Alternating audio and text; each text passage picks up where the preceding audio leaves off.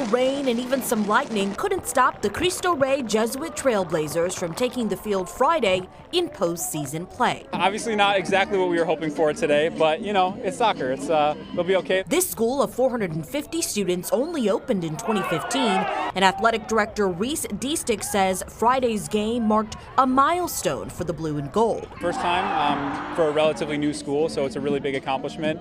Uh, I know, you know, soccer's in our kids' blood, so it's just this is what they live for, and they're, you know, just trying to get the job done. You could feel the energy and excitement at the stadium as hundreds of Cristo Rey fans showed up to support the soccer team as they made history Friday. It's a pretty eye-opening experience. Yes, I'm not it gonna really lie. is, yeah, we like, really see is. how far our school has come to like to this day, and see how like much we progressed. Our school worked really hard to where we're at. Uh, a lot of things didn't go our way, but we're beating all odds. Being here right now, it's nice. These students even celebrated with a pregame pep rally, getting hyped for the big game. You get a few opportunities, I think, to support your students and support your community, and they absolutely came through um, from the top down through our president and principal, and it was never a question what we were going to do. I think on their end, they just wanted to show full support. D-Stick wants every fan to know how much the school appreciates the overwhelming support.